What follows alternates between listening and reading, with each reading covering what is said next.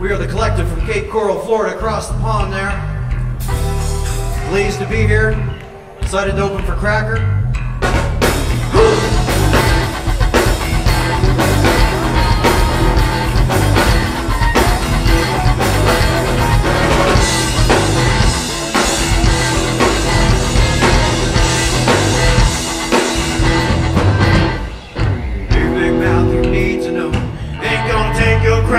bones up, talking to me.